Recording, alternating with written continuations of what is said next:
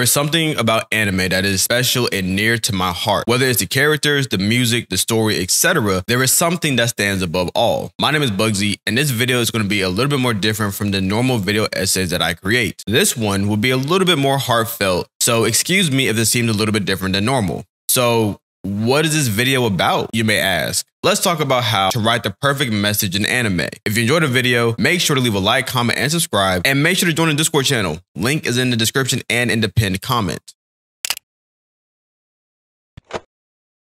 From the hundreds of animes, different genres, and even characters, there is one commonality between all of them the message. While every message in anime is not the same, every anime does have a message some more playful than others, but more have a deeper and more serious message than another one. From the shonen genre, we typically have a hero defeat enemies with the power of friendship or hard work. Shonen is a genre that appeals to a younger audience. Therefore, the importance of working hard and not being lazy is going to be preached. Looking at other medias such as Star Wars, DC, Marvel, etc., they all have interesting messages or themes. Star Wars' message being political and showing the similarities between Germany during World War II, the United States during Vietnam, etc. In Star Wars, there are themes regarding fear and negative emotion. Yoda during Episode 1 tells Anakin, Fear leads to anger, anger leads to hate, hate leads to suffering.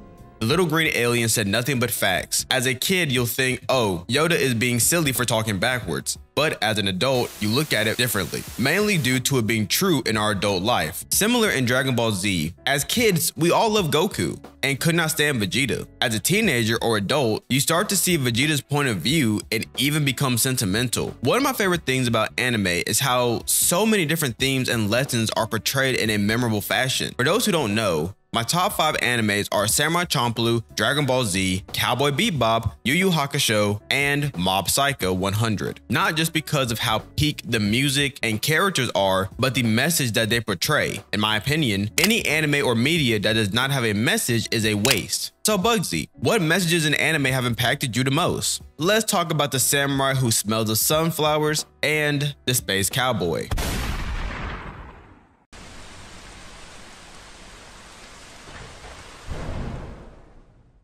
Samurai Champloo and Cowboy Bebop are two animes that have legitimately changed my life. Two animes that focus on the journey and not the results. Discovering both of these animes in college was pivotal to how I developed into an adult. I was so focused on the results. I would neglect the journey or pay it no mind, which I feel is a very common story with adults. As adults, we are so caught up in reaching the finish line, we do not enjoy the journey that comes along with it. A couple of specific moments in Samurai Champloo that impacted me were Mugen confronting his past and Jin falling in love. Mugen confronting his past spoke to me because it was something that I needed to do myself. Mugen seeing the former gang he ran with betrayed by Kuzo and finally releasing the past that held him for so long. In the scene where Mugen has an opportunity to kill Kuzo, he does not because that is exactly what she wants. For myself, confronting the past is something that I needed to do but continue to ignore. Yet, ignoring the past has done some damage to the present I wish it had not. Maybe one day I'll confront the past so I can move forward in the future. Jin's story of falling in love with someone he could not have hurts a lot. Many men in life have fumbled at least one woman who could have been considered the love of their life. Then they ponder off for a couple of years, then one day the realization that the woman who loved them unconditionally through rain or snow was no longer there for them, it hurts. A pain that I would not want anyone to deal with. Ahem, Bugzey, it sounds like you were speaking from personal experience. Pain is all I feel. Jin did everything in his power to free her from her debt and tried to run away with her, but realized that was not the right thing to do. With the woman leaving, she turns around to say, maybe one day we can be together.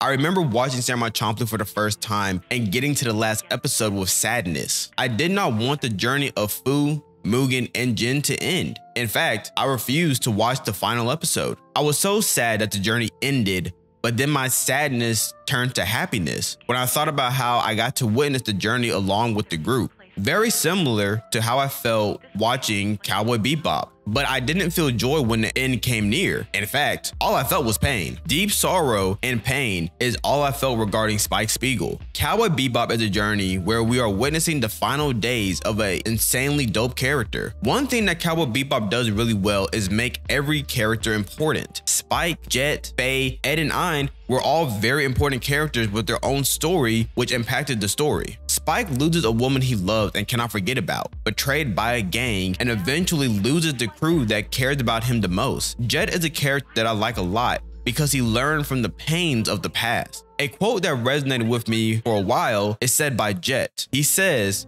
Men only think about the past right before their death, as if they were searching frantically for proof that they were alive. The reason why this quote resonates with me is that I've only thought about the past when shit goes wrong. If life is going well, then what is the point of looking towards the past? Nothing.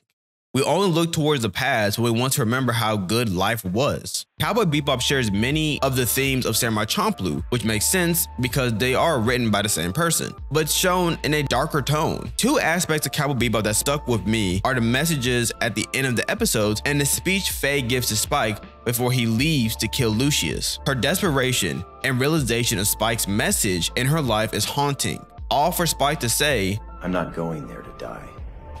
I'm going to find out if I'm really alive. which somehow I resonate with that one liner. I think a lot of people do things just to feel something, whether it's a good or bad feeling. One of my favorite ending messages in Cowboy Bebop is, You are going to carry that weight. Which is so, so important in my personal life. The message is to cover all aspects in life. We all are carrying some level of weight, whether it's past relationships, trauma, Hell, even in the present. The point is, you're going to carry that weight and you need to learn how to navigate through it and survive. Cowboy Bebop and Samurai Champloo are beautiful stories that I highly recommend for people to watch. Now, let's talk about the message of a young kid with a tail who turns into the greatest mortal in the universe. Excuse me, the strongest mortal in the universe.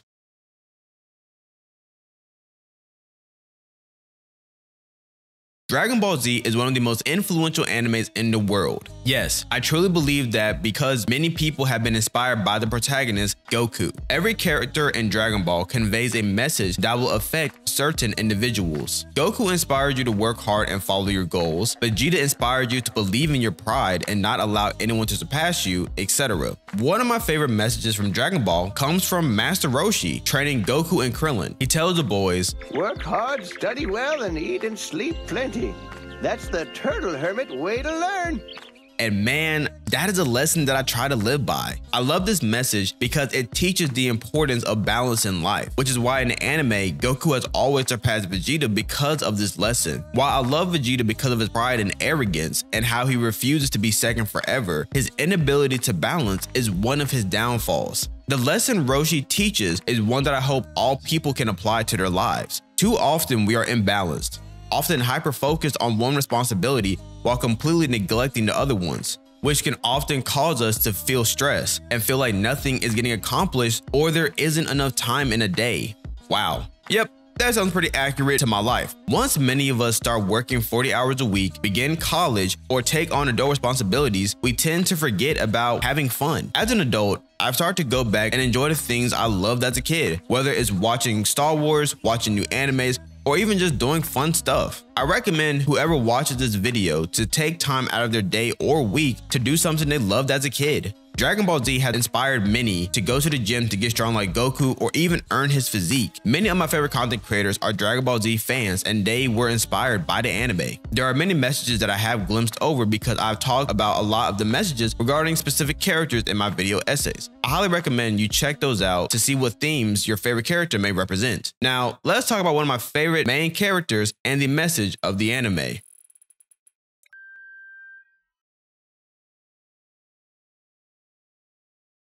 Yes, Mob Psycho 100, in my opinion, has one of the greatest main characters in all of anime. Yes, Shigeo Mob Kageyama is a phenomenal main character for many reasons. One of the reasons being how relatable he is to teenagers and even adults. Mob Kageyama is a character who was given psychic powers but does not excel at what he wants to be good at. He is terrible in school, talking to women, and physically weak. Yes, There are people who I know that are watching this video that are terrible at speaking to women. Yes, I'm talking to you, buddy. Yeah, yeah, yeah, you. I know you scared of the bitches. Do better, my boy.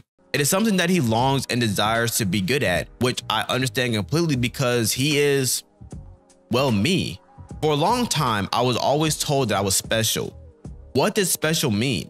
I am not sure, but was always told that I would be special and important in the world. The talents that I had were in areas I did not want, but in hindsight are some of the best talents I have. Being talented in music and even a sport like golf was something that I've taken for granted for 25 years. In high school, I wanted to be accepted by the masses and started trying other sports and activities. While I was pretty decent at other sports and activities, it was nowhere near the raw talent I had for music and golf. Looking back at it, pause, I should have appreciated the gifts that I have and amplified them. Yet, I'm kind of happy that I didn't. The reason being that if I would have capitalized on those talents, then I wouldn't be here talking to you. Maybe I would have been a professional golfer or professional musician and would have never started content creation.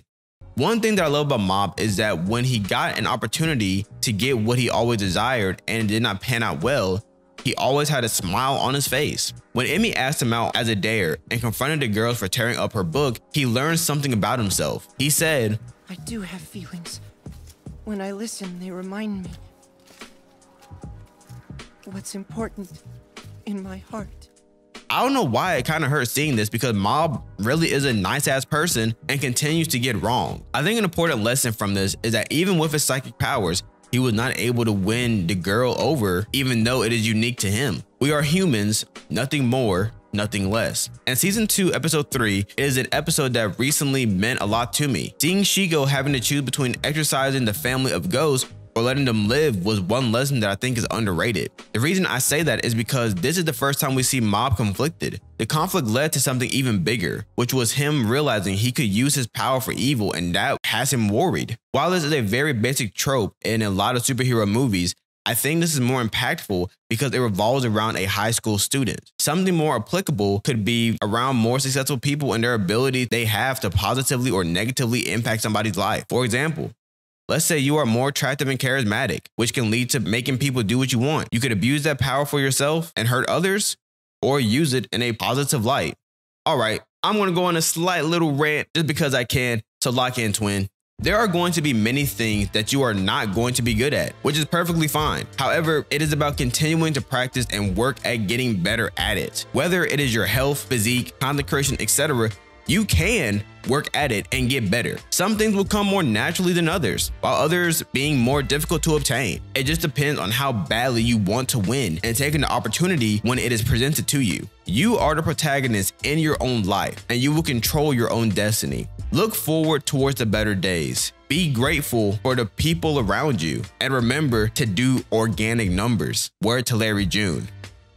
I hope this video helped inspire someone to pursue their dreams and most importantly, focus on the messages of anime. It's been your boy Bugzey, and I'm out of here. Peace.